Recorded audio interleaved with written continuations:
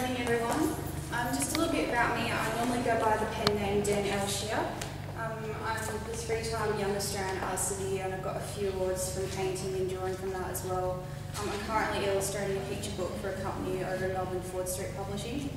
Um, so this is my typical style. Sometimes I do watercolour as well, but for Year 12, I thought it wouldn't be good to push it, to start experimenting with other things. So can I just get a show of hands who actually likes this drawing? Okay, no, who doesn't? It's alright, I don't mind, that's the whole point of it. So who doesn't like it? Anyone? Okay, well why do you like it? Because it's gothic, Okay. scary. Now why do you like it? It looks like there's more to it than just what you see, but there's a story there. Something. Okay, well it's called Allegory for the Modern Woman, so does anyone have any ideas what it means? Yeah?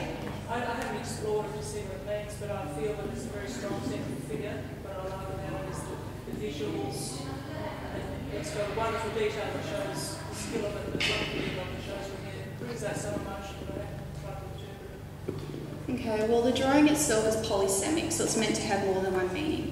That, of course, is in effect of our own context. We as people experience a context in a different way. So I'm originally from the outback, whereas then I moved to Northam and now I'm in Perth during university. So to me it means something else.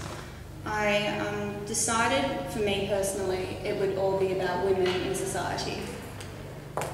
So you've got the central figure, which is the fox, who, which is appropriated from Snow White, is having her fur put back on her. The original concept for the drawing was a fur coat, but that was censored twice by my school, so I couldn't go through with it because it didn't conform to their ethics standards.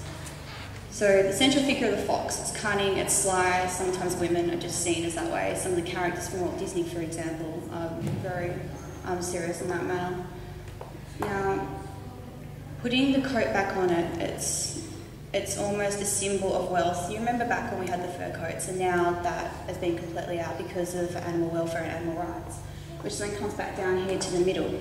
So these are a set of scales. You have the cockerel, which is a symbol of the man masculinity.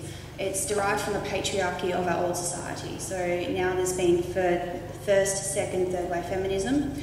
Even though women are socially liberated, we in a sense are not. There's still not that many in politics. There's still people who are underpaid. There is not evident equality. You have the Ferrari symbol, so it's wealth, statues of wealth. Um, the medicine symbol, which then relates to the rabbit on the other side. The rabbit is a symbol of vivisection and all the pain and all the misery we cause for our so-called plight beauty.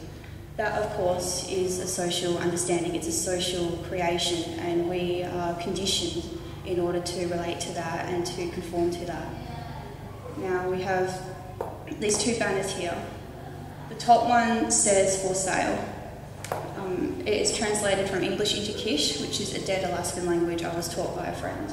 The banner down the bottom says Io sono donna, which is Italian, but it has been mistranslated.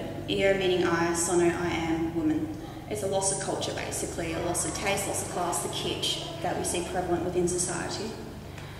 These skulls, they are degradation, they are growth, they are death, whatever you want to call them. So you've got the skull, you've got the hair, you've got more muscle, and eventually it gets to where we are now, which is alive, and then we start aging, death, degradation. It's also a reference to the Sibyl, which in Greek mythology she asked for eternal life but not eternal youth.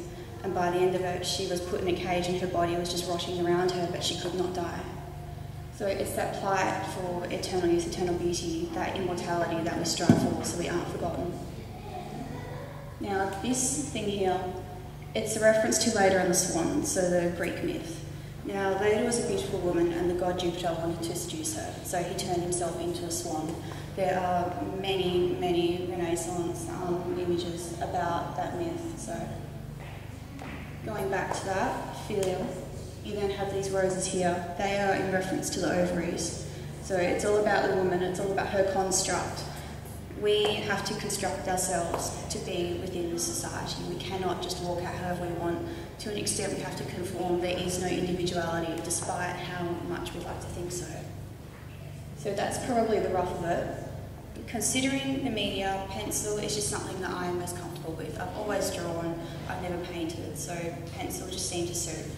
It's actually done in graphite, so there are varied levels. There's 9B, 6B, 8B. whatever, that's just how it turned out. How I drew it, I actually started down here and worked my way around that way, um, filling in the background as I went. Now I'd layer it in pencil and then I'd actually use an eraser. So I draw more with an eraser than I do with a pencil. So that way you can take off the grading. It's sort of like oil painting, but it's basically drawing in reverse to an extent.